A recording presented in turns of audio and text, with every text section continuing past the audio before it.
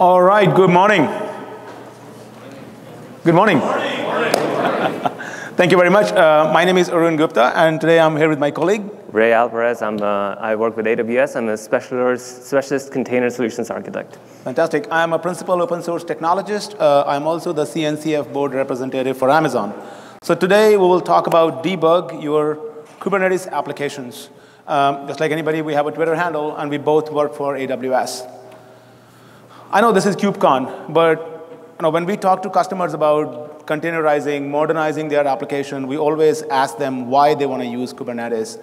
Most of the time, Kubernetes ends up being the answer, but we want to emphasize the fact that Kubernetes is not a golden hammer. It may not be the solution of every problem that you're looking. We hope it is, but it's not the case. So make sure you're looking to solve the pain points, the problems that your customers are facing, and then applying Kubernetes to solve those problems. Another principle that I really found recently, I really uh, connect with it, that the more you think you know about Kubernetes, the less you think you know. You know, I mean, every time you know you start peeling the onion, you know, it's more tears coming out of your eyes. So um, important part is to understand, you know, we will see that in the presentation. This presentation is all about the different ways your apps can fail and how do you recover from that, essentially. So in this talk, what we intend to cover is um, several aspects here. Um, we put asterisks on the last two topics because we think, just like Kubernetes, we are oversubscribed. Um, hopefully, we can cover all the topics here. Uh, so starting with cluster design, what are the basics? What are the errors that we are seeing with our customers over there? Networking, kubectl CLI, uh, pods.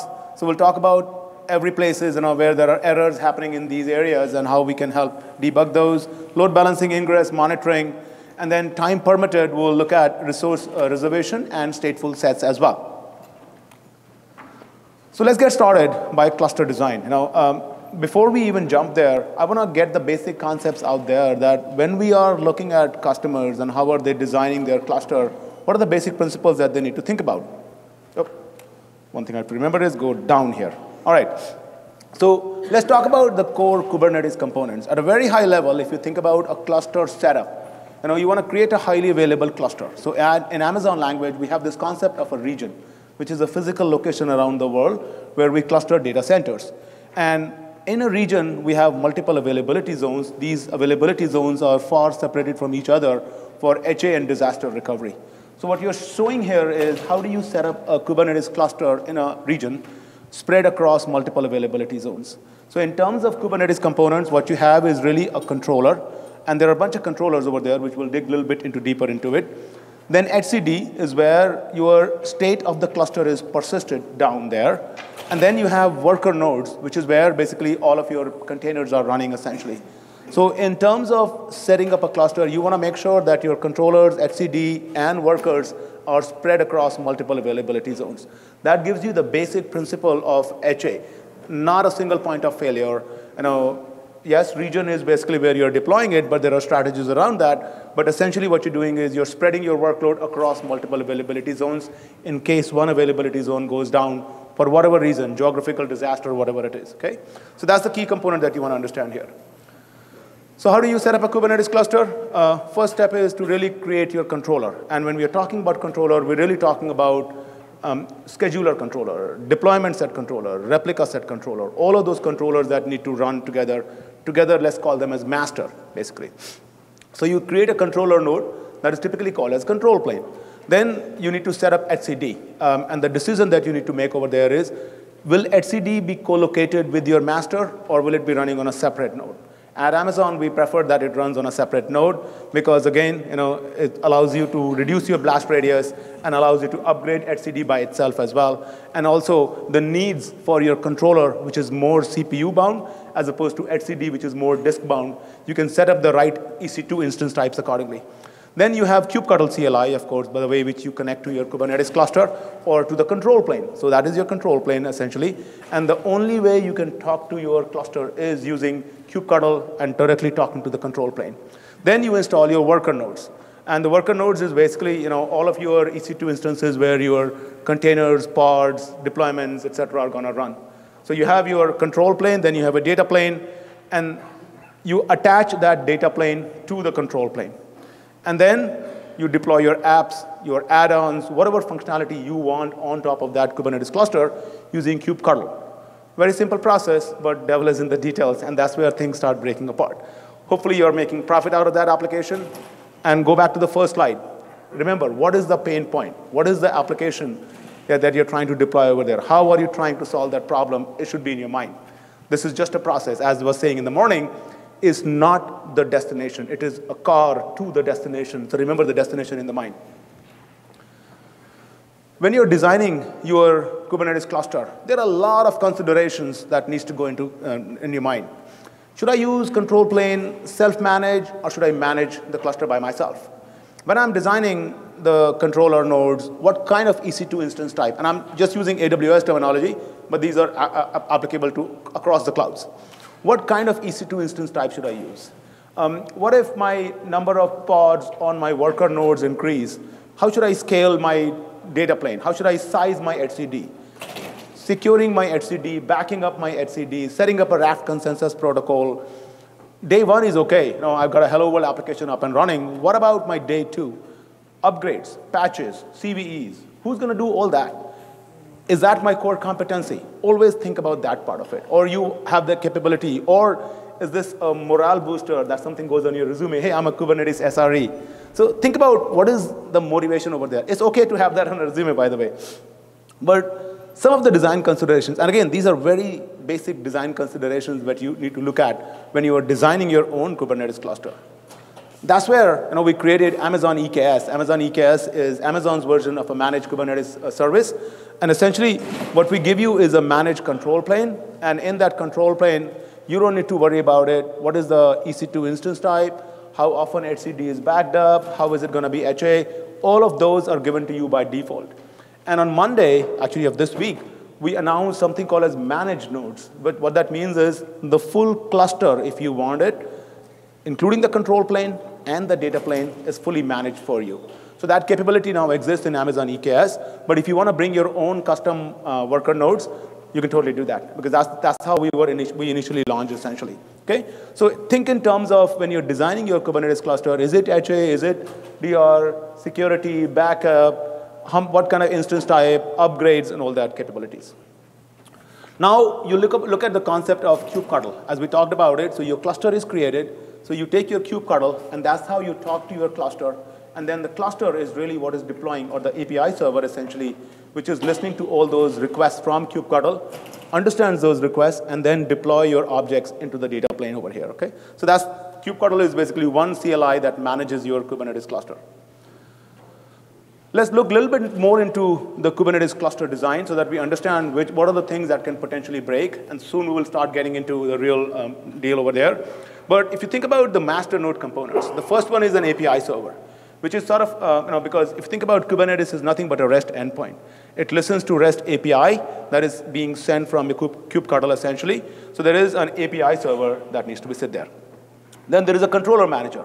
As we talked about earlier, deployment set controller, replica controller, uh, replica set controller, uh, persistent set controller, you name it. All of these different controllers are existing, and at a given point of time when the request is received, they make sure that the desired and the actual state are reconciled essentially. So that's what they take care of. Then there is scheduler, which is also a controller. So after all the state is persisted into etcd, the scheduler kicks in, and the scheduler says, okay, here is a pod that is not being assigned to a node. Let me rank all the worker nodes that are available based upon my predefined algorithm, or if you are giving me a custom algorithm, I'm going to pick a worker node, I'm going to assign a part to that, and again, persist it into etcd as well. And then, of course, there is a etcd, which is sort of the backend on where the entire state of the cluster is persisted. So those are sort of the core master node components over here, and things can really break at all different levels over there. In terms of etcd design, you know, it follows the Raft consensus protocol. So once again, the recommendation over there is to have at least three etcd servers spread across multiple availability zones. So typically, you know, when the request comes into the Kube API server, it writes to the one etcd server, which is in the same availability zone, and then it replicates to other. It's eventually consistent. On the worker node component side, what we are looking at is there is kubelet that is sitting on each node. Think of it as a node agent essentially, and that really handles the communication between the API server and the worker node. And that is the one that is really running your node and kind of communicating with the API server in terms of the status and the, what needs to be done and how many replicas, et cetera. Well, the replicas are designed by API server, but Kubelet is responsible for the lifecycle of the container on the worker node. Then there is kubeproxy, which is basically handles the communication between pods, nodes, and the outside world. And last but not the least, there is CRI, or Container Runtime Interface, or CRI, um, which basically says, okay, there are multiple ways by which the containers can be run. Um, I could use Docker, I could use Containerd, I can use CRI-O, uh, whatever technology. So kind of, it's a very Kubernetes-centric interface, but gives you the independence from what the underlying runtime technology could be.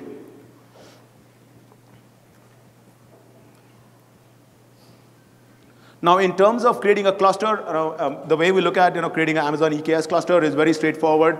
Uh, eksctl is the official CLI, which is created by one of our partners, Weaveworks. So essentially what you say is eksctl create cluster.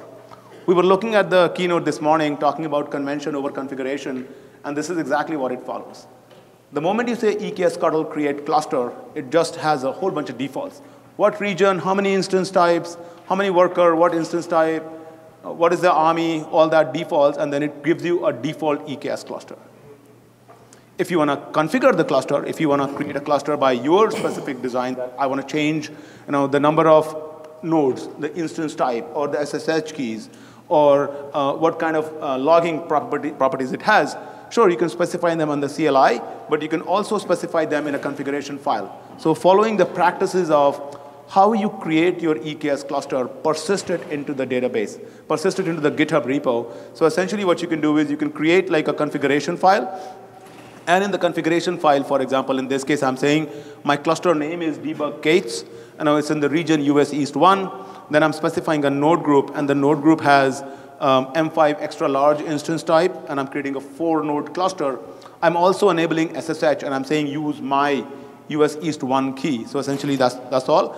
And then the last fragment is where I'm saying enable these kind of logging. So my um, control plane logging is already available. That is the most useful, useful tool typically when you get to when things go wrong. So it's very important to enable those kind of logging over there. Thanks, Arun. So let's look at networking. And when Arun reached out to me and said we need to do this presentation, and we need to find out all the ways Kubernetes clusters have failed on AWS. I reached out to a few friends inside Amazon and asked, started asking them questions like, what do you think are the number one issues that customers run into? And unanimously, everyone came to me with the same response that the number one problem on Kubernetes is generally related to network. So there are two core components that we're, we are looking at when it comes to networking problems. The first one is the CNI, now in Kubernetes, Kubernetes does not provide its own uh, networking stack. You can bring in your own network provider. Um, some have some functionalities like network policies. And on EKS, we are using the Amazon VPC CNI, which gives you the ability to, uh, to give your pods a, VPC IP address. And then the next thing uh, was core DNS. A lot of work has been uh, implemented in core DNS in the last few months, in the last few releases since uh, it became standard in, in 1.11. So a lot of improvement has already happened, but when you're running clusters that include thousands of pods or hundreds of nodes, it does not scale automatically, and there are certain steps that you need to do. So we're going to take a look at some of those use cases today. So let's look at the CNI. What is CNI? CNI is a container networking interface, and on EKS, uh, we use Amazon VPC CNI by default. And that gives you the ability to give your pods and your worker nodes the same IP address from a subnet within your VPC. And if you've ever used kops or any other thing, you, you might be familiar with things like Calico or Flannel or Canal. These are overlay networking technologies that include a little bit of overhead, the compute overhead, to run on the worker nodes. But also now you have to deal with another layer of IP addressing that you don't have to deal with in Amazon VPC CNI because what the IPs that you're seeing for pods and your worker nodes are real VPC IP address. You can ping them, you can connect directly to them, and you can do things like VPC flow logs, etc. So if you look at how the CNI works in, um, in EKS, CNI basically uses Elastic Network Interface, which is a, a, network interface that you attach, or it's automatically attached to an EC2 instance, and that's basically providing the networking capabilities of each EC2 instance, and that's how you connect your network. So each EC2 instance gets an ENI attached to it, and Amazon VPC CNI runs on top of ENI.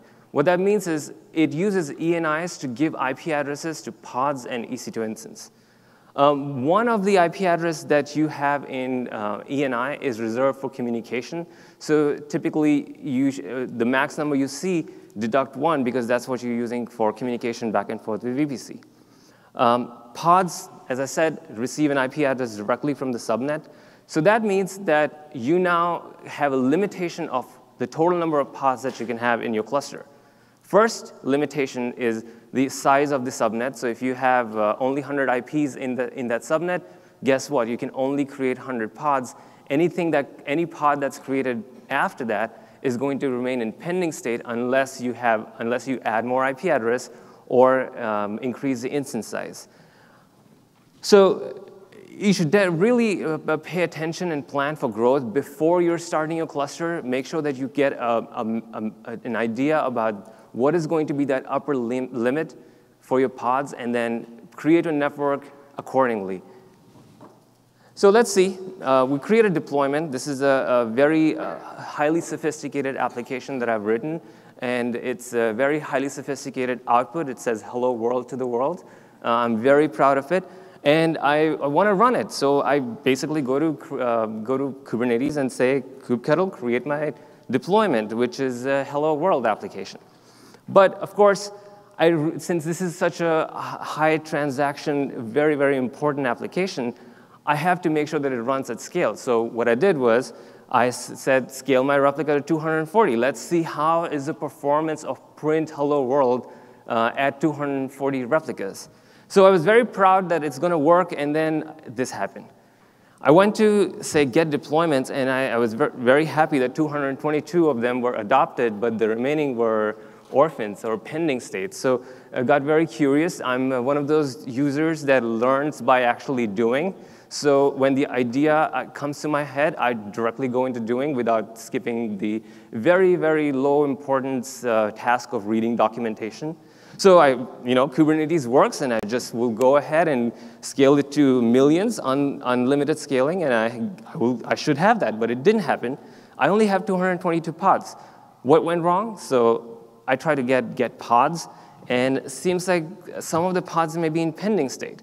So here's another cool thing. Uh, if you don't know about field selectors, these are really important, especially when your cluster becomes larger and you may be running hundreds or even thousands of pods. Field selectors really come into play and you can filter them. So over here, I'm just doing a, uh, give me all the pods that are pending, and I see a bunch of them are pending. So I want to troubleshoot a little bit more. Um, now, this time I can use get events. Kubectl get events is going to give you all the events in the cluster. Uh, but over here, I'm not interested in anything that may be information only, so I'm only looking at warning. And if I dig a little bit deeper into it, I'm shown something that looks like this. And I see that there's an interesting pod. That's the pod I'm interested in, my Hello World application. And I see that it says failed to assign IP address to container. So that's the number one issue people run into because guess what? I did not read documentation and Kubernetes was supposed to solve world hunger, and yet here it is, it can't even create my 240 pods. So I want to take a look into it, and I then started reading documentation, because that's what you're supposed to do. You work first, fail, and then read documentation. So I looked at this nifty component of the CNI, and it's called IPAMD, um, and it basically does two things. First of all, it maintains a warm pool of IP address from the VPC. So let's say we'll cache uh, 10, 15, 20 IP addresses, and as pods are created, it's going to assign an IP address to each one of them. And as pods get destroyed, it's going to then take that IP address and keep it in this warm pool. Um, so I, as, I, as you mentioned, ENI uh, basically uses one IP address for communication. So the max number of, I, max number of IPs I can get in, a, in an EC2 instance there's a simple formula for that. Um, I don't know if you guys can read it. So the, the formula really is you take the, the number of ENIs, times that by the IP addresses that each EN, that ENI supports, minus one, because that's the one it uses to communicate back. Um, and the, the number of IP addresses that you can get on that, that EC2 instance is going to be a min function. So whichever is smaller, that's going to be your limiting factor. So in my cluster here, I have an M5X large EC2 instance type, and it can support up to four ENIs, and each ENI supports 15 IP addresses. Yes? Oh, increase the font. That could be a challenge. We've never done that. I don't know what else is going to break. yes. This is better than Hello World. So I have an M5X large cluster, four ENIs, 15 IP address. I'm really bad at math. Don't let me do this here. Yes, 56 was the number I was trying to get to. So it can support up to 56 um, IP address, with four times 15, uh, you get it. Um, so that's a 56 is the, is the maximum ENI that it can support. The default uh, cluster that I created in the default subnet, it supports up to 8,192 IP addresses. It's a slash 19. I knew it, didn't need to read it, because uh, that's how I calculate CIDRs. So what the max number of pods that I can uh, uh run on this EC2 instance is going to be directly related to the max number of IPs that I get uh, on this EC2 instance. So over here, my limit is going to be 56. Um, and 56 is the max number of pods that I can run inside this EC2 instance. One recommendation at 116 is that you should not run any uh, more than 100 pods per node. Um, and if you want to know why, click on that link. Uh, it should tell you exactly why. So in, in this situation, I have four EC2 instances, uh, four M5X larges. So uh, that means that 56 times 4 is going to be 240. Is it going to be 224? 224. 224, and that's why my pods stopped at 220. Um, why did they stop at 220? Because I may be running other pods that are also consuming IP address. So that's the number one thing to keep in mind, is that you always want to make sure that you are planning ahead, you have enough IP addresses, because if you don't, uh, your application scaling is at, at one point going to come to a halt, um, and your, your cluster will break. Your apps won't scale.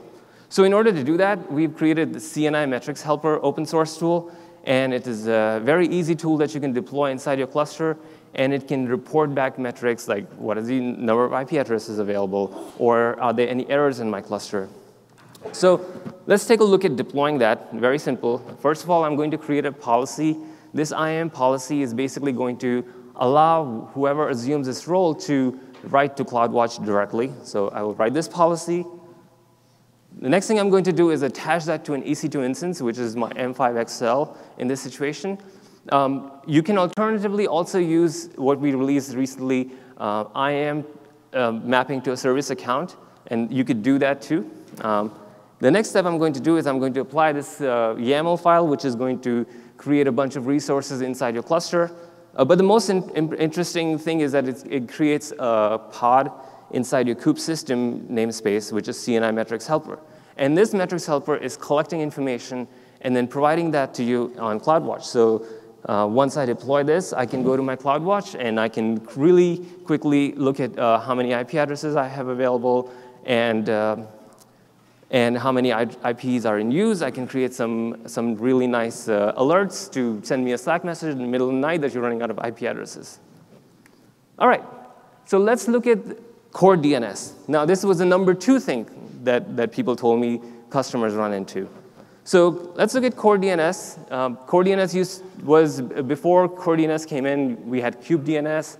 Uh, core DNS was uh, GA in 1.11, so if you have clusters that you created uh, that are 1.11 and you long forgot about it, then you should switch to core DNS. But if you created clusters after 1.11, by default, you're getting core DNS.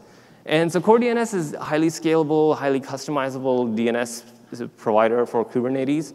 And it uses a core file to control, it's basically the configuration for, for core DNS. And the core file is stored in a config map, like all good apps do. Uh, and it's stored in a core DNS config map, which you can directly manipulate. So if, my, my, if I'm facing some problems with DNS resolution in my cluster, the first thing I will do is go look at your pods. Go look at your core DNS pods.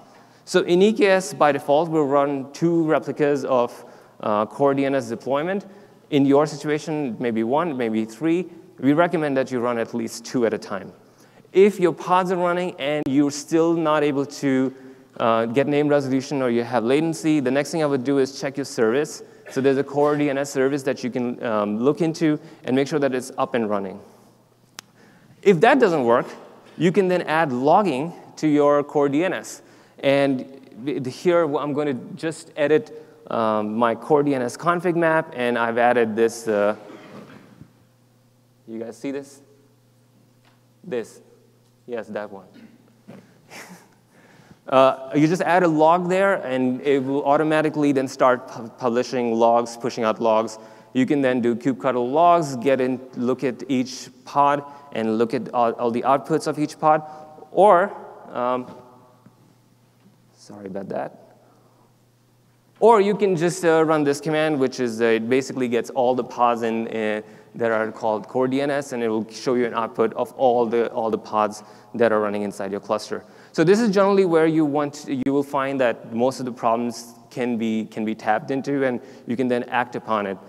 Uh, some of the ways of fixing these problems, uh, first way is the easiest way to just scale your replicas, and you can scale them to three, four, five, but sometimes that still doesn't help. Uh, so for that, the, the second option is a local DNS add-on that uh, Core DNS has, and it creates a daemon set that runs on each uh, worker node, and all the queries that come from any of those pods are then sent to this local uh, daemon set, which enables faster name resolution. The next thing is the memory requirements for Core DNS. So Core DNS uh, comes with some same defaults. So in EKS, uh, we say that at minimum, core DNS should have a 70 MIB uh, request, and we cap it to 170 MIBs.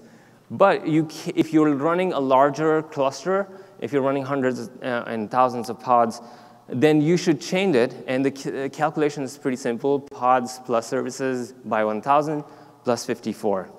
Um, and some of you may be thinking, why 54? Well, 54 comes from 19 meg is what uh, the core DNS application needs, and then 19, um, and then 30 megs for uh, caching, and then 5 megs for buffer. So that comes out to be 54. That's the default. That's a recommendation. In EKS, you'll be using 70, but if you're running large cluster, you might want to, um, you might want to customize this number. Uh, another plugin is the AutoPath plugin. AutoPath plugin has some improvements that can improve uh, name resolutions for names that are external to your cluster. Now, I wouldn't recommend, uh, recommend this enabling by default unless you're running into this problem of external name resolution. Sometimes with AutoPath plugin, the increase could be tenfolds. So it's really important if you have that uh, requirement in your cluster. But the downside is that now you have significantly more memory that your core DNS pods need. So instead of pods plus services by 1,000, over here you're dividing that by 250. So four times uh, uh, more memory requirement with AutoPath. So that's uh, the networking section. I'll give you back. I'm not done yet. We're not done. We're not done yet. No worries. All right, kubectl. So kubectl is the primary way by which we interact with the Kubernetes cluster. How does kubectl work? So let's try to understand the basic concept behind kubectl. Well, of course, you need a kubeconfig file. Now, that's sort of the way it looks at it. And the default location for kubeconfig is in your home directory, in a .kube directory in config, and that's where your configuration lives. And what can happen over there is, you know, in that configuration file, you potentially have multiple clusters that are configured, and for each cluster, there is a config section, and that you need to refer to uh, could be a local cluster, could be running on AWS or any other cloud or on-prem, whatever it is, then you can use the command, say kubectl config use context, specify the context that you want to use, and use that to talk to that particular cluster. So that's the way. Well, of course, you can always look at your kube config environment variable. So oftentimes we have seen that, hey, you know what, I'm trying to connect to the Kubernetes cluster, but I'm not able to connect to the Kubernetes cluster. So the tip over there is make sure you don't have kube config environment variable pointed to somewhere else. You know, because if that is pointed and you still have .kubeconfig, it doesn't matter. It's going to take look, look at the kubeconfig environment variable. It basically communicates with the API server. Um, the, once the kubectl um, is configured, then it talks to the API server. All the commands are given over there. There's a beautiful post by somebody working at GitHub, you know, where it talks about how does kubectl really work? And I have a link uh, at the, I think, end of, the, end of the presentation. It talks about all the details. What happens when you say kubectl create dash f deployment? It's a long process. It's a lot of things that go behind the scenes. So if you look at it on the client side, for example, there is a client-side validation that is happening. Then it infer your generators. Hey, by the way, you're trying to do a deployment. So I have a deployment generator because the deployment generator knows how to look at the deployment spec and create the REST representation of it. Then it creates a runtime object, and that runtime object is basically using that generator is going to create your REST representation. Then it does the API version negotiation because you may be using a specific version of deployment, and then it says, hey, does your API server really provide that API version? And during the first run of you know, your kubectl by connecting to the API server, it downloads all the APIs you support and puts them into your local cache. So you can look at that. You know, if you go to into your kube config directory, there's a cache directory over there as well. So take a look at it. It kind of gives you the complete API versions that are supported over there, and that's what it refers to kind of for local optimization. Eventually, your REST request is created, so which is the REST request because end of the day, it's an API server. REST request is created, authentication is done, and the way authentication is done for EKS is a bit different. I'll talk about that a little bit later. But now the request is off to the API server a lot more things happen on the server side, of course. You know, uh, authentication, authorization happens. You're trying to create a deployment. Are you allowed to create a deployment? You're trying to delete a service, update a service. Are you allowed to do that? Um, then admission controllers get in, where, where it says, oh, by the way, um, if you're trying to create such and such deployment, how many resources are allowed, the namespaces, et cetera, what kicks in over there. Then it really deserializes the HTTP request, just the way there are generators, there are objects on the server side, which deserialize the request and persist it into etcd. Initializers kick in, and then your controller kicks in. And all these controllers are doing is essentially the deployment set, replica set, the scheduler controller is, they're looking at your etcd state, and they say, oh, you want to create a deployment. So let me take a look at it, and deployment means you want to create a replica set. So I'm going to create a replica set, persist that into etcd. Then the replica set uh, controller gets up, says, I'm going to create a pod. So it persists the pod in etcd. Nothing has been created yet. This is the time when you're looking at your kubectl get pod, it says container creating. All this is happening behind the scene for you. Uh, then there's a kubelet which is sitting on your node, essentially, which is querying your API server every 20 seconds, looking for it, hey, you know what? Is there anything for me to deploy? Is there anything for me to deploy? Because that's where, you know, scheduler has already ranked your worker nodes, picked up where the pod needs to be deployed, and now the kubelet kicks in that, oh, there's a pod that is attached to me that's scheduled on me.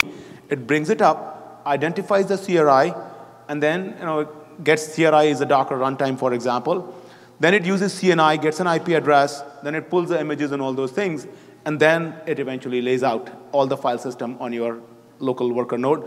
And then it says, hey, by the way, the container is up and running over here. So I just want to highlight the complexity of the process that goes behind this.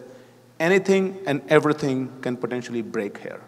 And that's where you will see different status. And we'll get into the pod lifecycle a bit later, but let's go a little bit further.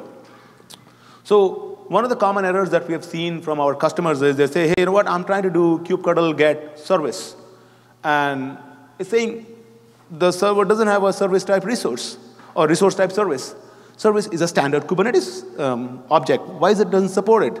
The error is misleading. How often times you know you see a good error and say, oh, this is excellent error, now I can debug it.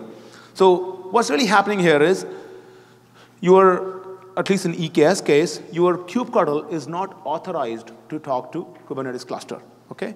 So the first tip that we always look at the users is, uh, you should look at you know what version of kubectl that you that you have. So say kubectl version, it gives you the kubectl version, and in Kubernetes there is a capability, there is a the amount of difference between kubectl CLI and the API server is predefined.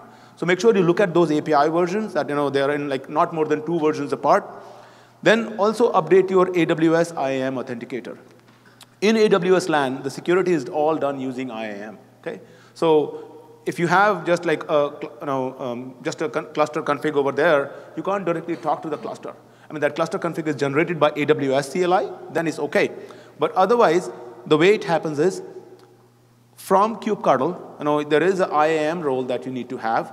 That IAM role, you know, behind the scene, kubectl invokes AWS IAM authenticator, which then talks to the STS service, which gets a token, then it gets a token, and that token is then passed on to kubectl to go talk to the Kubernetes cluster behind the scene.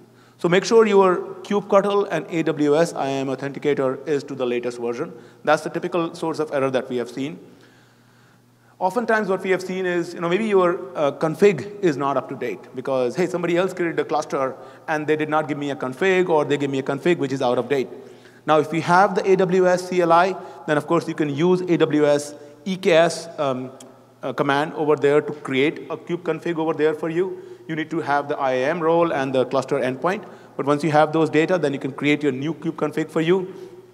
Or if the cluster was created using eksctl, which we said is the official CLI, then eksctl also has a tool here. And the commands for generating your kube config file are specified over here. So for example, you could use AWS EKS update kube config. I know the command is update, but essentially it gives you a new kube config that you can talk to.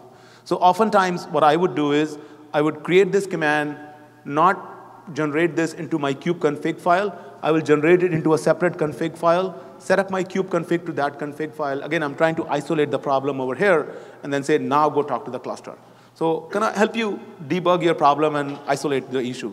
And then in case of eksctl, then you can say eksctl utils write kube config, give it the cluster name, and then it generates the configuration file. You have to specify the IAM role as well. Another um, thing that you want to look at is, is your cluster even accessible?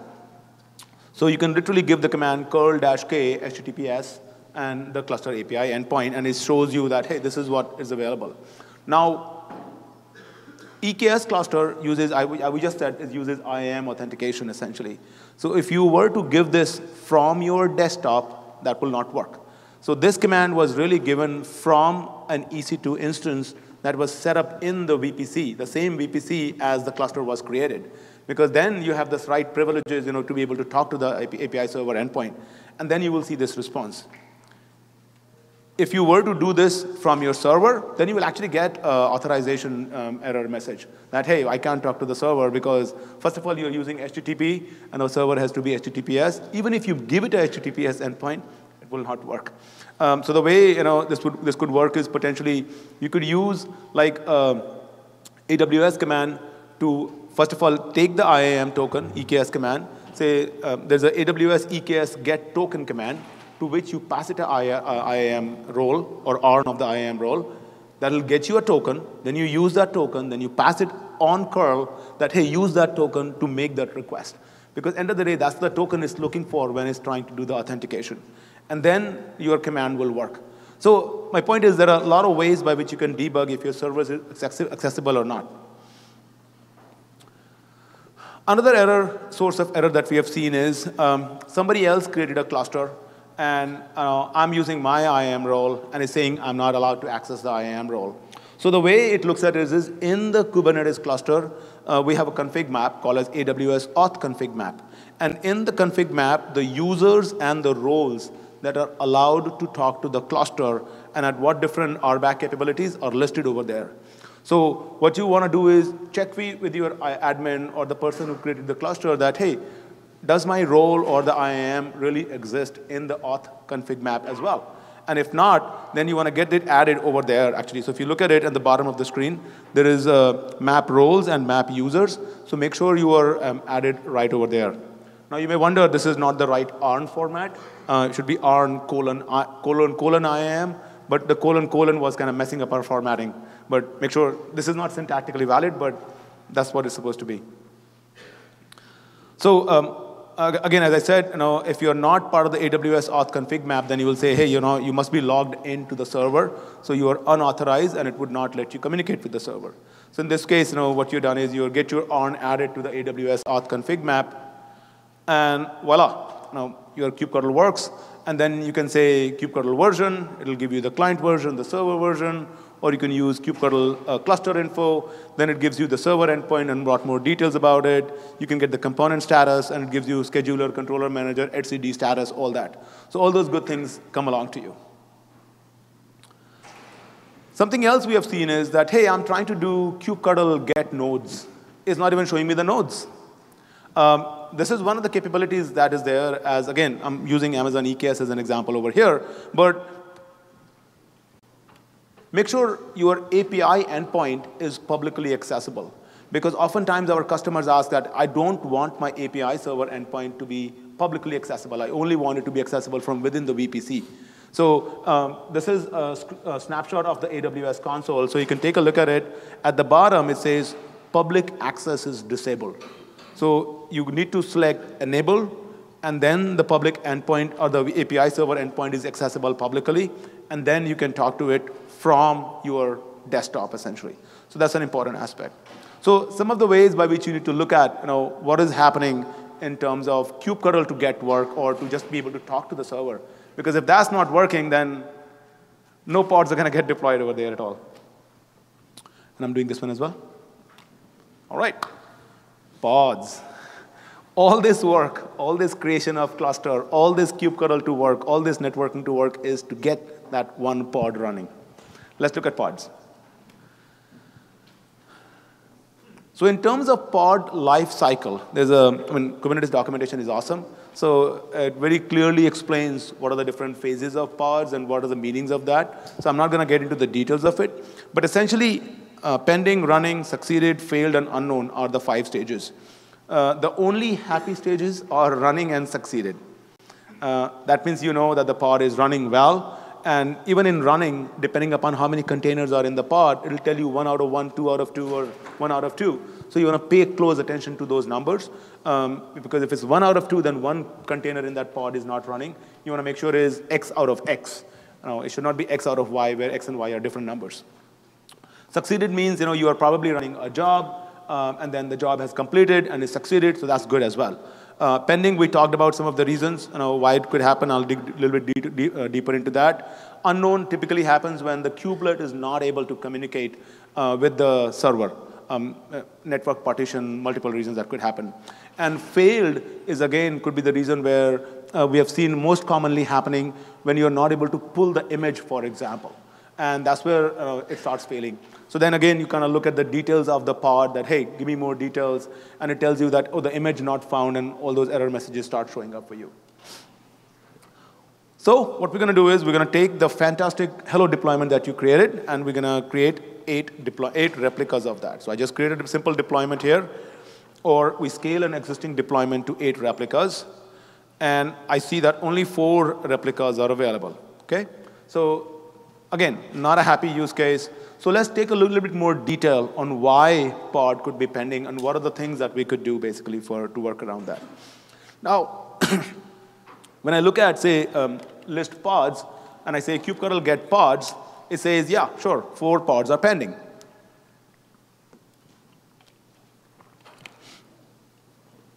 What are some of the reasons why the pods may be pending? the most common reason is not enough resources in the cluster. Um, on a pod, you can specify resource, limit, port, um, and resource limit could be for CPU, memory. So there is most like, the most common reason is there's not enough of those resources in the cluster. Okay, so that's one part of it. Um, something that Re already covered is, you know, not enough IP addresses in the cluster.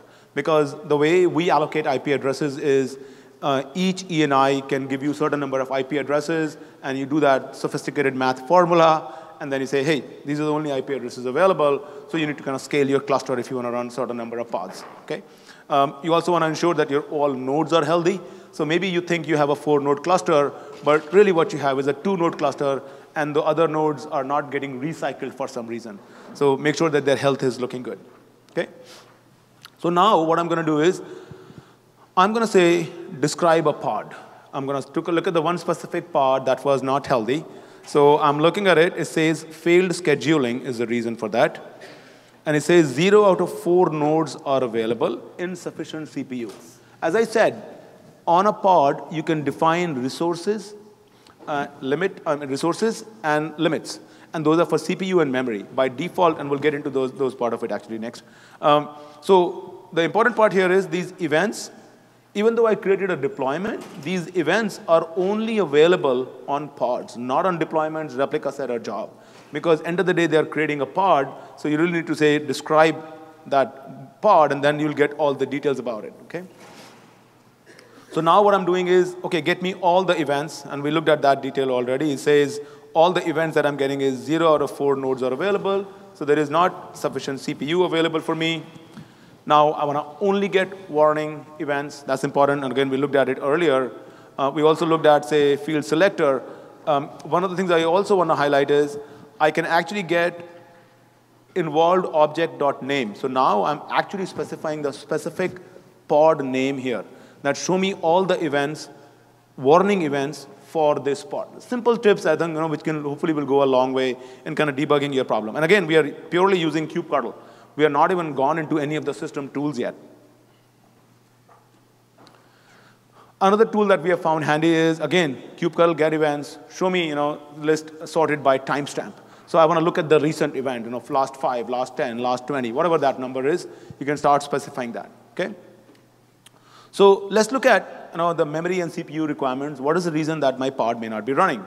So now if I look at the describe deployment slash hello, it says, sure, it is an Nginx latest image that I'm trying to deploy over there. But if I look at the limits, it says uh, two CPUs um, as the limit and two gigabyte as the memory. And similarly, the request is two and memory is two. A fundamental concept that you want to understand over here is request is what it will initially get and limit is the maximum value that it will go to. Okay, so that's the way you want to think about it. So essentially what I'm looking here is um, I need, if I'm doing eight replicas of the pod, then I need a whole bunch of memory. You know, so I'm, essentially I'm looking at 16 CPUs and I'm looking at about 16 gigabyte. Hey, I'm running a 16 CPU cluster. Why this thing is not running? I have 16 CPUs. Let's look at that more. Now, the default CPU request is 200M, and 200M is, think of it as a 0.2 CPU, and in terms of a vCPU, if you think of in terms of AWS or any other cloud provider, and none on memory. So if you create a pod and you say, describe the pod to me, and then it'll show you the request is 200M and nothing on CPU and no limit, okay? So if I need 16 CPUs, and I am running a 16 CPU cluster, why those 16 CPUs are not available to me? Now, the way I can look at that is I can give a command called as kubectl top nodes. And if I give that command, it shows me sort of the memory CPU utilization on my cluster. Okay? So I want to give that command, but it says, oh, the service is not available. So the service is currently unable to handle the request, get nodes metrics k8s API. Now, this is an API which gathers all the data from nodes and um, it gathers all the data. Used to be Heapster, but now it's more Prometheus. So it gathers all the data from um, your node, and it publishes it, and that's where the data is being generated.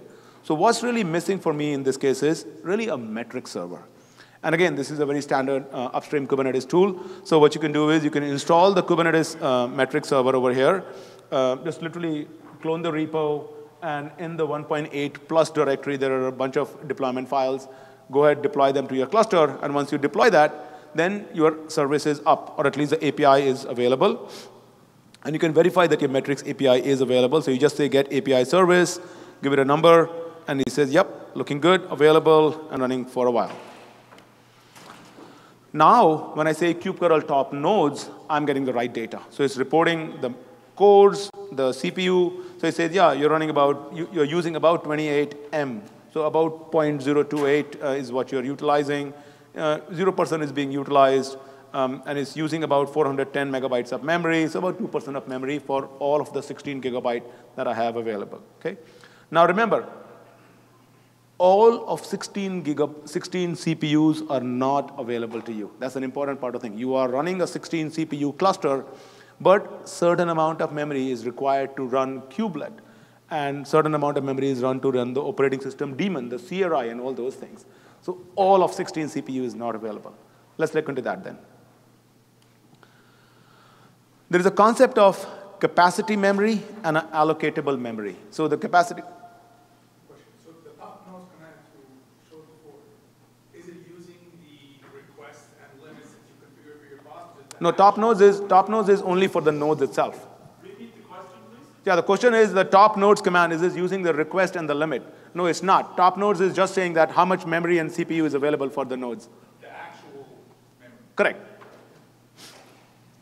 And so now what I'm saying is there's a concept of a capacity memory and an allocatable memory. The capacity memory is basically how much capacity is available. And allocatable memory is, sure, you have a capacity of 16 gigabyte, but certain amount of memory is already being used for kubelet and other processes. So I want to make sure that I'm giving you only the allocatable memory. And you can see there's a bit of a difference here. Here is about 1595 and here is 1584. So whatever that delta is, is being used for kubelet, okay? The way allocatable is calculated, as a matter of fact, you of course look at the node capacity.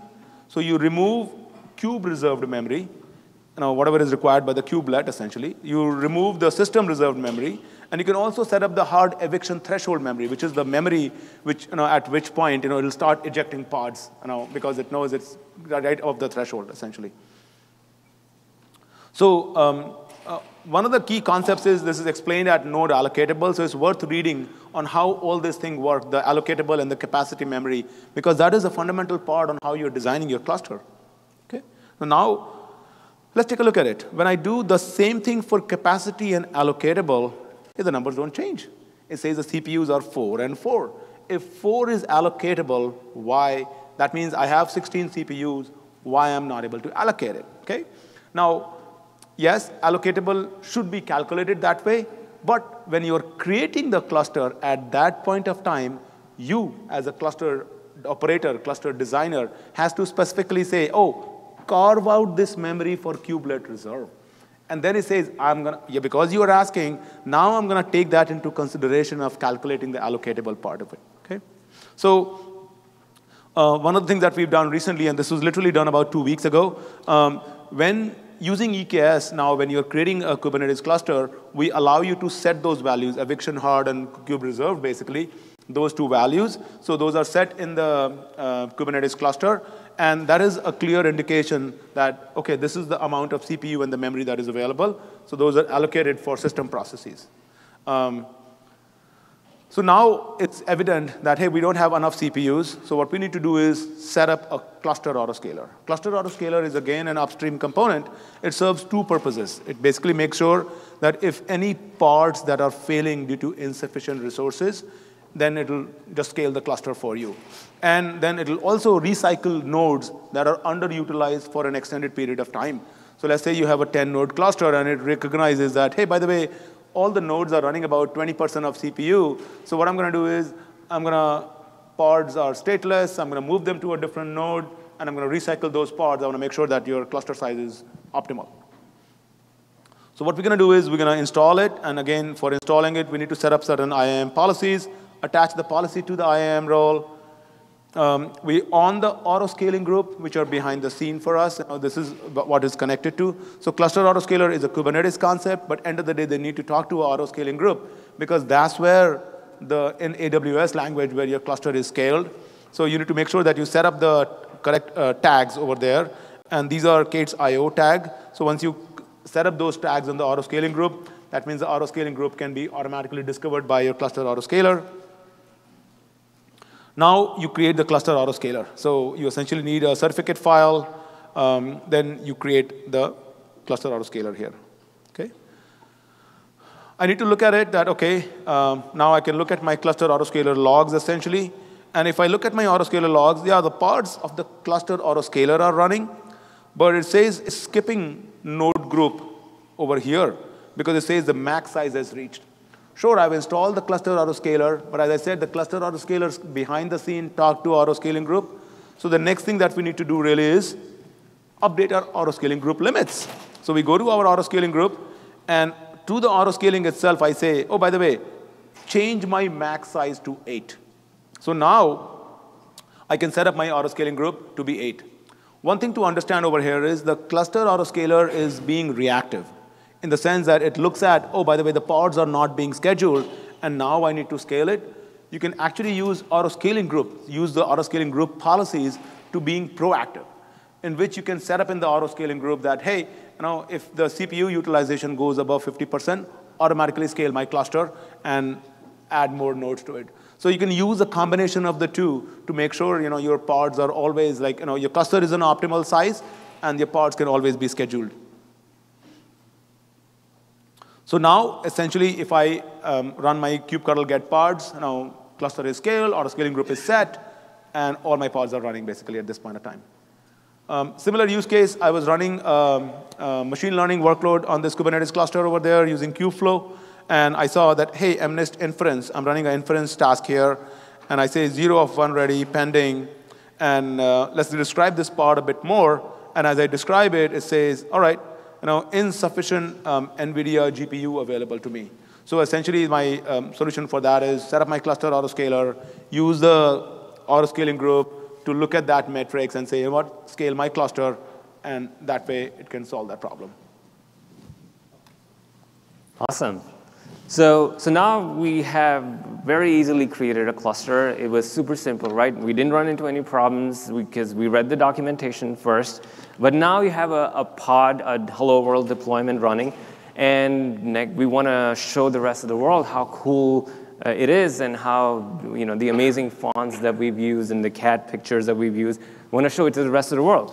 So a uh, couple of things you can do is uh, you can use uh, two, either the service to expose your pods to the rest of the world, uh, so then it will be accessible from outside your EKS cluster, or you can use the ingress object. So if you just do service type load balancer, if you just say expose uh, my service, then it's going to by default install create a, a, classic load balancer. We have three types of load balancer, network load balancer, which is layer four, classic does four and seven, and then application load balancer that does layer seven. So if you, buy, if you just say service type load balancer in your service, then you're going to get a classic load balancer. If you wanted to use a newer network load balancer, then you, all you have to do is annotate your service with just uh, load balancer type NLB, and uh, EKS is going to provision an NLB in the backend. Now, you don't have to be using EKS for that. You could just be running Kubernetes on AWS, and, and then that should work as well.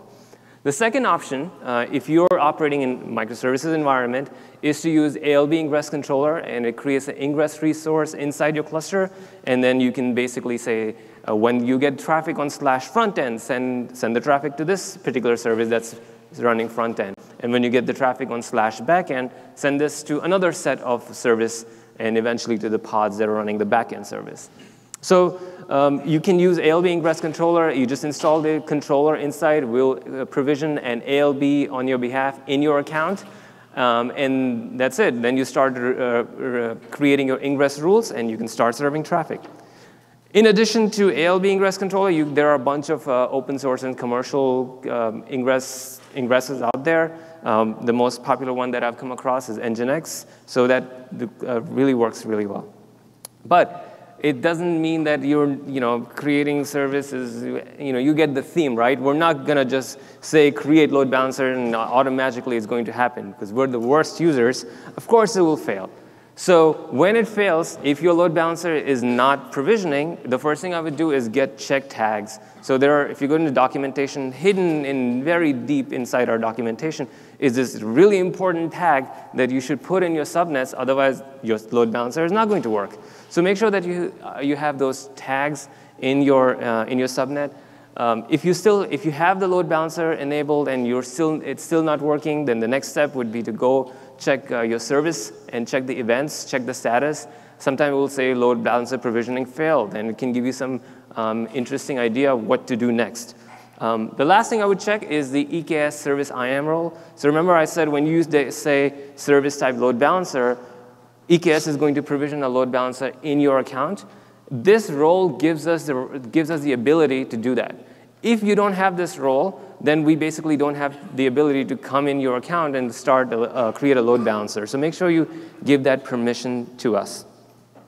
Now, if you have your load balancer, it gets provisioned, uh, don't think that you're not going to run into some problems there. So the most common problems that I face is, you know, everything works, but my application is slow. And this is without Gremlin's chaos engineering. This is just my hello world. It, you know, this cannot be chaos engineered. Uh, I thrive in chaos. So First thing you should do, very easy to do, is enable logging inside your load balancers. It's very easy to do. It's a checkbox. If you're lazy like me, go in the console, enable it. That will give you some of the metrics like latency and application metrics like 4xx, 5xx errors. And those are helpful. You can see if, if there's a high error rate in your application. That could be the reason why it is, um, it's, your request is slow or failing. If you see that there's, everything is good inside your, uh, at your in your load balancer front, the next thing I would do is start a pod inside your, inside your Kubernetes cluster and access the service right there and see what the metrics are. So you can create a shell demo uh, pod, and it basically gives, drops you into a Debian Ubuntu-like environment where you can install some really uh, good troubleshooting tools like curl. Um, and you can curl directly the IP or the fully qualified domain name, and you can see what it really is that, that's causing problems. So a lot of times you'll see that the application is slow either because um, your pods are spread out too wide, nodes have latency in between them, and this is a good tool to help you identify. Now, another thing that you can do is when you create a service, you're also getting endpoints. So you can also try to ping the endpoints and see if one particular endpoint is, is creating problems and the rest are fine. And lastly, um, if you, if you, if you want, if you can change your app, definitely implement tracing in your application. Microservices without tracing is super hard to do because you're basically, the request could be coming in from one app and traversing through 12 different apps and then giving the result back. So if you have latency in one of the app, in the 12 apps that you have, you can't see that unless you have some kind of tracing ability. And traditionally, tracing has been really hard to, to implement. But if you're using a service mesh, tracing becomes really easy. And I would highly recommend you use uh, some kind of tracing solution with service mesh, whether it's uh, Jaeger or Open Tracing with Istio or X-Ray with uh, App Mesh. Definitely use it because it's low effort and it will give you the ability to look at that request and see where it's failing or what is the, the what's causing the slowness in your environment. So clearly, networking, really, really important uh, uh, monitoring, that really, really important piece that you cannot skip if you have to run um, a successful Kubernetes cluster. So that, you ask the question, like, okay, seems like Kubernetes has these millions of resources. Uh, no, I'm sorry, billions of resources. What should I really monitor? Um, and that becomes a problem because too much to monitor and there's too much data, causes too much confusion. You don't really know, should I be paying attention to this API latency metrics or this resync interval, what is, what is it really? So we've tried to simplify it for you. Um, you can, of course, monitor everything, and you should monitor everything, but you don't have to pay attention to every metric. Some of the key things that you want to monitor are your worker nodes. Clearly, they're running your worker, your application, so make sure that they're running healthy. Then it's going to be your cluster components like ingress controllers, dashboards, tools for monitoring, cluster autoscaler, all of those things. And then finally, the apps. So some of the metrics that we recommend that you monitor uh, to begin with, on the nodes, definitely have CPU network memory. That's the basic. Uh, cluster components, etcd is something you should monitor if you're not running EKS, because if, if, if you are using EKS, that's our responsibility. Amazon will make sure that your etcd cluster is healthy and up and running all the time. But if you're running your own cluster, highly recommended because if your etcd cluster goes, it dies, and then well, say goodbye to your Kubernetes cluster. Uh, Add-ons, really important. Um, monitor the monitoring tools and then have monitoring tools monitor them. Um, we must go level deeper. So if you have monitoring tools or ingress controllers, load balancers, dashboards, make sure you monitor the, the, those components as well. And then the last part is your application. You definitely want to capture metrics that are relevant to your particular workload um, and any of the error rates, like if you're running a web-based application, 5xx, 4xx. So how do you monitor? Well, the, the, simplest answer today in Kubernetes world is Prometheus with Grafana. Everybody loves it. It's super easy to set up. There's a, there are tons of community support. Um, and so that's the de facto tool. A couple months ago, we also launched uh, CloudWatch Container Insights. This is um, an, a really easy to use tool that you can install inside your cluster. And we have pre-built dashboards that can give you a lot of details on your cluster or your node, your pod level. And uh, there's certainly Kubernetes dashboard. You can use that, although I'll stop there. Um, then there are commercial solutions, bunch of them. Um, Dynatrace, Datadog, Sysdig are just some of them. They, they can provide you some really cool functionalities, like some of them have machine learning that can predict problems before they actually happen. Um, let's start looking at, uh, let's look at Prometheus. So Prometheus, again, is very easy to install. It comes with a Helm chart. So I will, here I'll just create a Prometheus namespace, and I'll say Helm install Prometheus. Now, I, I do want to customize some of the uh, values for Helm chart, and over here I want to say that I want to persist the data. If you don't do that, basically you're getting ephemeral pod, which if it gets destroyed, all of your metric data will be lost. So you don't want to do that. Um, you definitely want to persist that data. So I've created a storage class that's backed by uh, EBS, that's Elastic Block Storage. And over here, I'm using a GP2 type volume uh, that I created before, and I'm saying, Prometheus, please store your data um, into this volume. And then also I'm saying for Alert Manager, which is a component of Prometheus, I'm saying you also please go ahead and persist your data. Uh, next thing I want to do is once I create the, the deploy the Helm chart, is going to create a bunch of tools, uh, a bunch of pods inside my cluster. Uh, you'll see that I'm running a three node cluster here, and for each cluster, uh, for each worker node, you'll see a node exporter here, and then you'll see Prometheus uh, server, uh, alert manager, and state persistent uh, pods. So basically, that's what you get when you install Prometheus. Uh, if you want to check Prometheus, you can, you can just do a kubectl port forward, which is going to open a port on your local host. And if you go localhost port 8080, you will get Prometheus um, dashboard. Um, it's not really helpful, but you know, Prometheus is not supposed to give you information uh, firsthand. So if you want to see nice, pretty graphs that, that are pleasing to look at and um, you know, make errors look better, then highly recommended that you install Grafana on top of it. So again, Grafana, you can uh, use Helm chart to install Grafana in your, um, in your cluster. You don't have to create a namespace for Grafana. A lot of people will just put this with kubesystem or Prometheus namespace.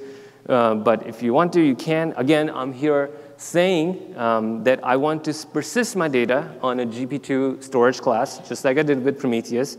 And then I'm, uh, I'm saying that I also want the service type to be load balancer.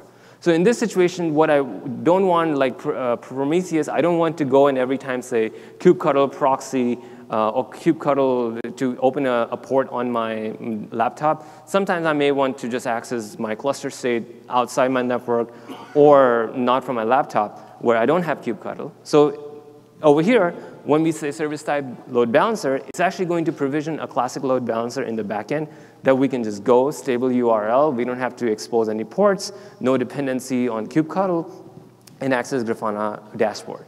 So again, uh, once I uh, deploy the Helm chart, uh, you get a one pod, um, and that does everything.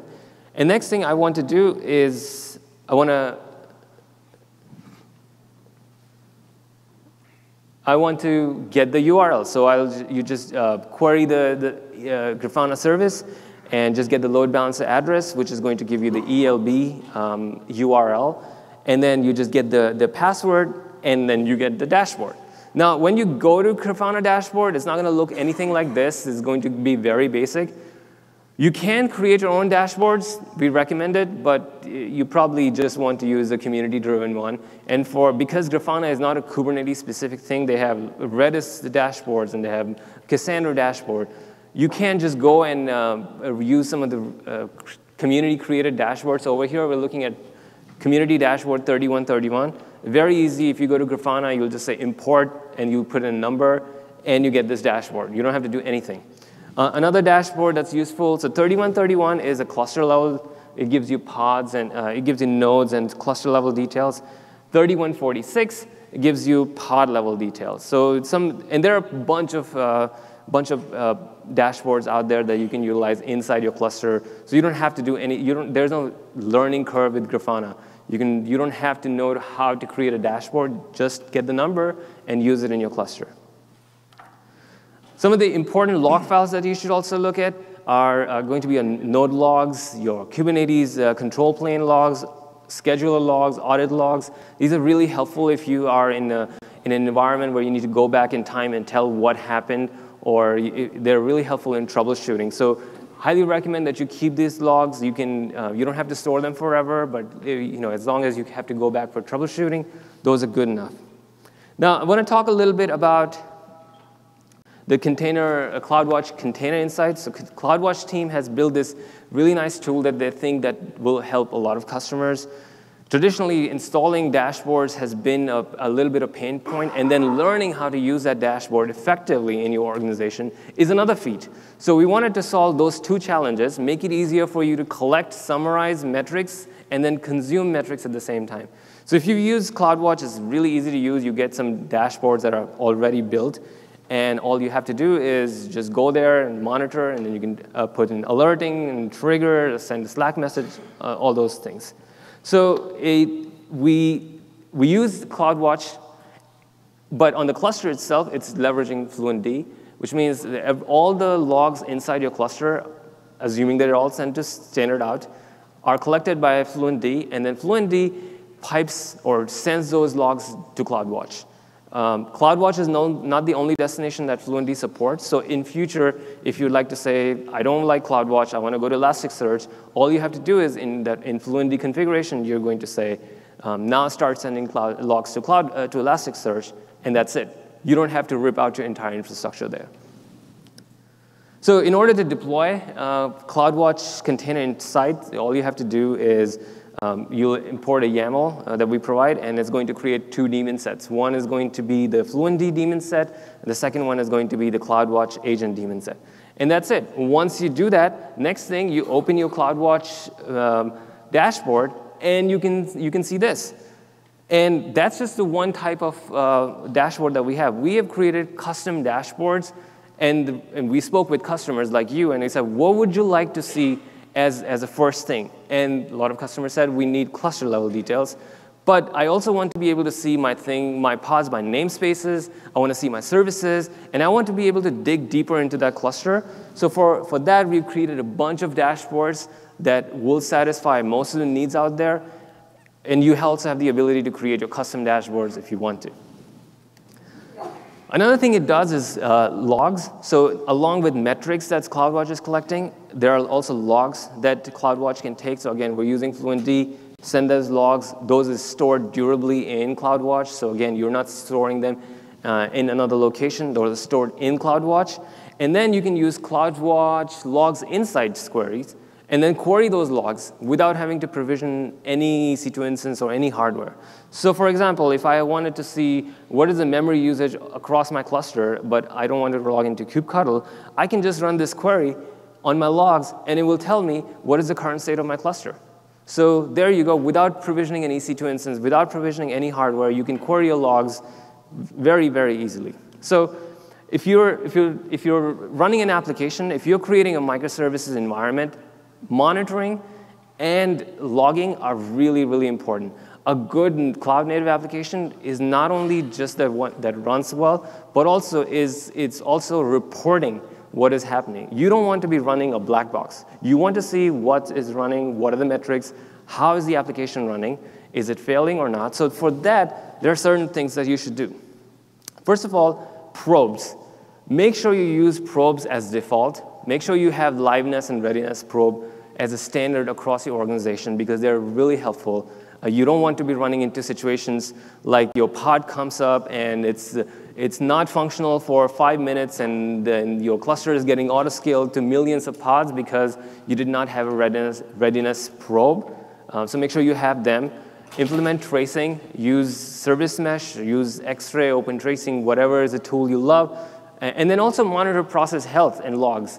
So don't just, uh, don't just assume that because you have FluentD and CloudWatch that all the logs are magically going to appear in CloudWatch.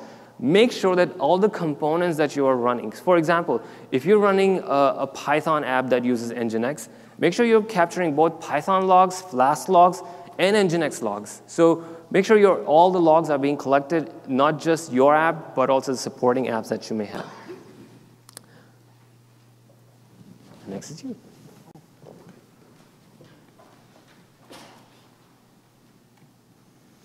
we kind of talked about this a little bit earlier already in, in terms of um, how do you do resource reservation. So um, you can monitor the kubelet on the worker node. So let's say you have done the resource reservation. Um, you can dig into your worker node. So if you create your Kubernetes cluster, and let's say you have SSH key enabled over there, then get into your Kubernetes cluster and say, give me the details for a particular worker node. And this is the way, the way you're getting it. And um, we talked about this earlier already, how you can use kube reserved and system reserved memory to how this value can be set up. And not only you can do this, like if you're running a EKS cluster, of course you can use EKS eksctl over there, but let's say you're creating you know, a Kubernetes cluster you know, using some other tool. So kops has these capabilities as well. Um, or if you're creating using uh, AMI, then in the AMI, there is a concept of a user data. And in the user data, for example, you can specify these commands as part of your commands to the API server, and then you can say that make sure my resources are appropriately allocated. So if you look at it over here, for example, we are highlighting that how you can set up that value in the EKS eksctl. And this is only specific to Amazon EKS, essentially. So that's one of the areas where we're talking about. So how you can have system reserved, kube reserved, and eviction reserved. Because those are the three values that are taken into consideration when it's looking at capacity and actually reporting the right value of allocatable. So that, yes, you know, it will not be able to schedule your parts, but it want, you want it to report the right value as well for CPU. Okay? If you're doing, um, uh, we have seen a lot of customers who are doing oversubscription uh, where they say, you know what, yeah, sure, you know, um, CPU is not a compressible resource, but memory is a compressible resource, so I'm going to oversubscribe it. So um, one of the things that we recommend to our customers is to avoid oversubscription, to specify sort of your CPU and the memory limits over there. And uh, in this case, for example, you can see that the, the request is 64 megabyte uh, for the memory, and 128 megabyte is the limit. So that way you can totally calculating on how much max that the, the each worker node should be able to handle. Um, another option over there, another opinion over there is to be able to specify your uh, resource quotas on namespaces. So in this case, I'm just saying that for this namespace, you know, depending upon your dev and the testing and the prod and the staging namespaces, if that's how you're achieving multi-tenancy in Kubernetes, set up your limits over there.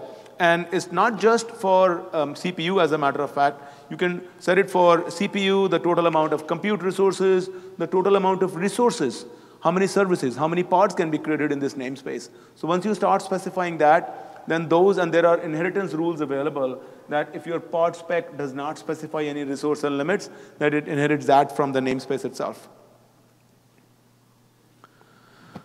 Now, once the namespace, once the quota on the namespace is full, of course, you know, it's treated as the same way that, hey, you know, you no, no longer have any more resources. So then your cluster is not the scope. Now your namespace is the scope. So then you want to look at it that, okay, the error messages fortunately are much better here. It says exceeded quota, and it'll tell you exactly what quota is exceeded.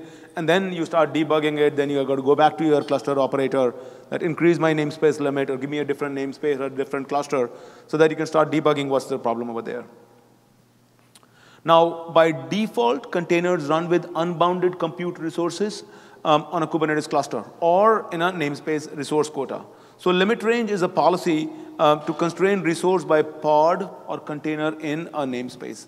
So in this case, for example, I'm creating a limit range, and I'm saying that uh, by default, if the pod has no spec, like no resource, um, no memory or CPU specified over there, this is the memory that they're to inherit. So that way you can start, sorry, my, this is the memory and the CPU limits that they're going to inherit, basically. So that kind of gives you an idea that, you know, how you can start sizing your cluster, because cluster sizing is really important. You know, you don't want it to grow um, arbitrarily large. So now what you're doing is you're just saying kubectl describe limit ranges, and then you can start getting those values, and that kind of gives you an idea that, you know, why your cluster may not really be getting created. So from your perspective, you're just saying kubectl create deployment, and then you have to recognize that, hey, is there a namespace limit? Is there a limit range defined for me? So then you have to start looking at those objects and their default values, kind of the reason that the pod may not really getting deployed.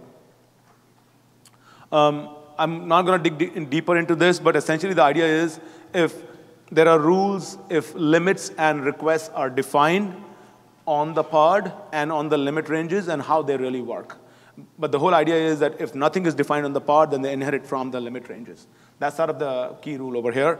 But once again, the key part being if your pod is not getting deployed, if your pod is not coming up, there are things possibly going at multiple levels. You know, it could be limit range, could be namespace quota, could be uh, cluster autoscaler. We haven't even talked about, as a matter of fact, about horizontal pod autoscaler. And that is one thing that can help you really with, um, with the service latency, which um, Re kind of touched upon it briefly. All right, story time. Um, so I'm very proud of creating my Hello World application, but I also created another application where I can store, store all my important data and pictures. So I took the, my, my kids' uh, birth pictures and baby pictures and stored it all in a Kubernetes pod, right? It's awesome. And then the pod obviously got deleted. So guess what happens to all my data? Anyone, any guesses? The data was gone, yeah? I was kidding. It was not my baby pictures, it was wedding pictures. Much worse. Trust me. So, pods are ephemeral by nature. Do not store your wedding pictures, do not store your tax documents in pods unless you are using stateful sets. Then you can do it. So, stateful sets allow you to persist data using a storage backend that, again, is abstracted away from the developers and users. You don't need to, be, you don't need to care as a developer what storage backend should I use? Those are all done by, hopefully, an administrator. If you're the administrator, then it's you. You should do it your job.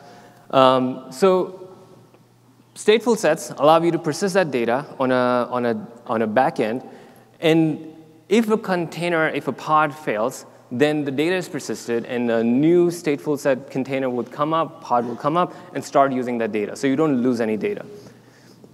So stateful sets are really providing pods with that persistent storage to persist data. Um, they also create persistent volume claim uh, automatically on the fly. And the reason why stateful sets are so different from deployments and pods are because uh, they're, they're, each pod is going to get its dedicated uh, PVC, which means that it's not sharing that volume with any other pod. It will have its own dedicated PVC. It also creates a headless service. And what headless service really does is it gives each, each uh, pod that's part of that service a unique IP address. So if you're running, let's say, Redis master and Redis slave, you can really easily identify the ordinalities. Like one would be the master, second would be the slave, and so on. And that ordering is maintained by, by Kubernetes. So if your pod or your, your node fails, if multiple nodes fail, when the new pods come up, they, will, they are going to come up in that same order. So it's kind of a, a little bit more resiliency that you can put uh, when you're working with stateful sets, which is really necessary if you're dealing with databases. For example, you may have a MySQL master database and bunch of slaves. This is going to make sure that you're always replicating uh, from master to slave and not otherwise.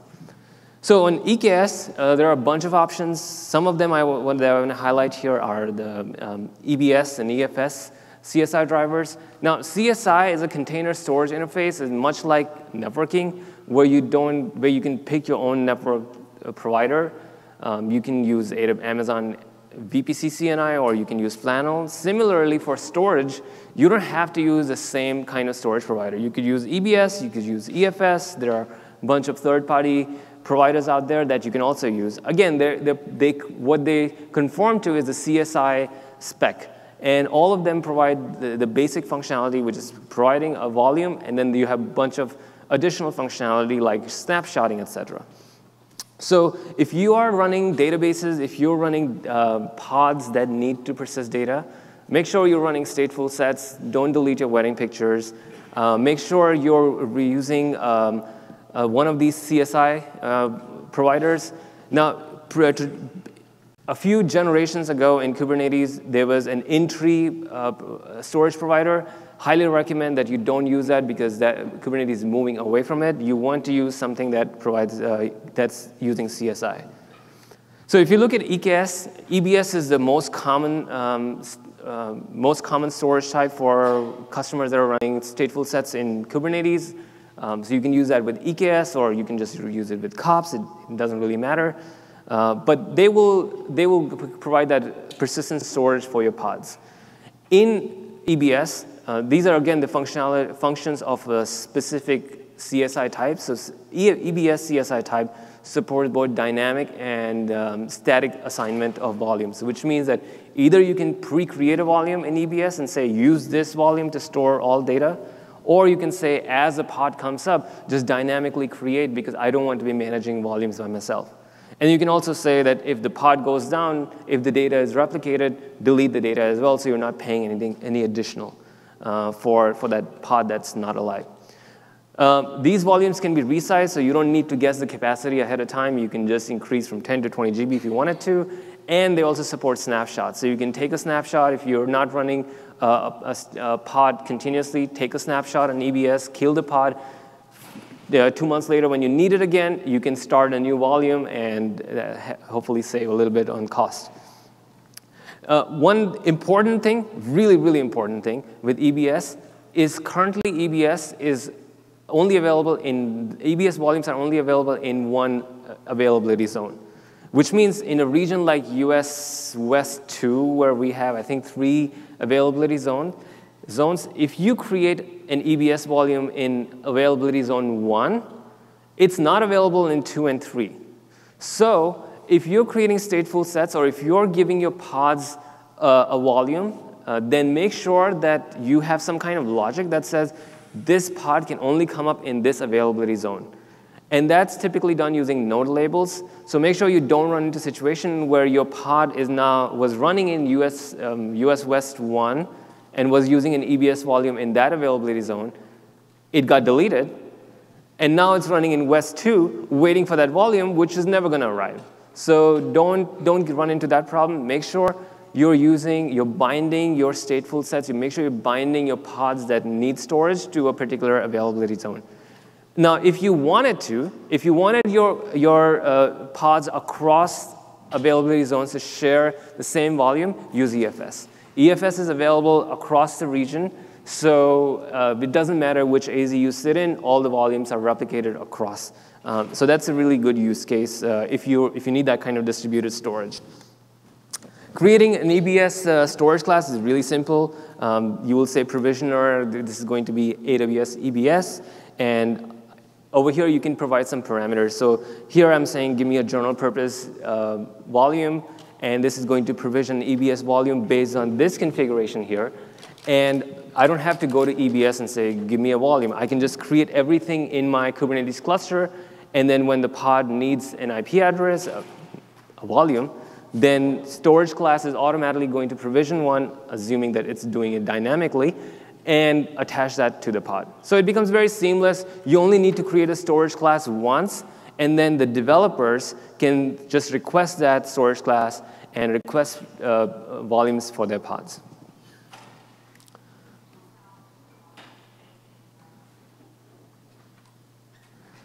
So uh, one of the things that I, actually, let me step back. I was trying to look for failure scenarios for storage, didn't really find much, which tells me either my Google searching is really bad or these CSI drivers work very well. I'm proud of my Google searching skills. So that's definitely not it. So it looks like it's a lot more stable environment now, but there are certain things that you, you may run into. One of them is this, which is uh, you mount a volume and you now want to write, uh, write on it, and uh, it fails.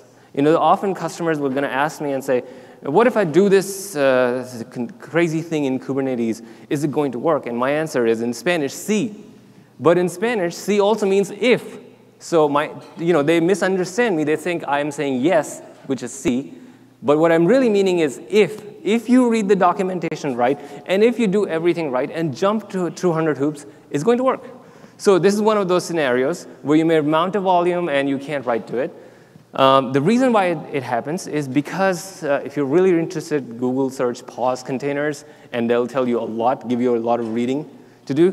But all the volumes are mounted as uh, by a root user, essentially. So if you're not the root, you can't write, and don't run your containers with root. That's not what I'm trying to say. But what you can do is you can either use the security context in the pod, which is going to use Linux security context and is going to allow your containers, or Docker container in this case, to assume that uh, security context and start writing. Or um, another thing you can do is init containers. So a lot of people will say init container, which, is, which, runs, which you can run as root, mount the volume, and then um, uh, change, the, uh, change the permissions, which is run chown or chmod or something like that, to now give your other containers, which really need to write to the volumes, the ability to write to this EBS volume. So um, that's, those are the two things you can do. Uh, if you want to put security context, uh, basically this is what you need to do. Uh, there's a, a, little bit further reading required here if you're not familiar with these two things. But if you're dealing with storage, then it's highly recommended um, that, you, that you implement this. If not, then init containers could be a rule. Now, init containers, not, they're not just for storage, but anytime you need something done before your application comes up, use, your, use init containers. You can use ordering there, and they're really helpful too. And that's it from my side.